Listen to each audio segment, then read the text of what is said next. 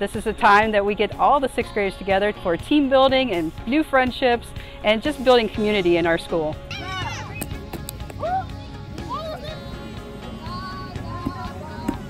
So we've been doing this well over 10 years. Uh, it's uh, really important, especially with the transition from fifth grade to sixth grade. The kids really enjoy it. Uh, not only do teachers get to know the students, but also uh, students get to know each other. And the parents are always great and they volunteer to come out and help out. It's like kind of mixing two schools together, so you don't know half of them.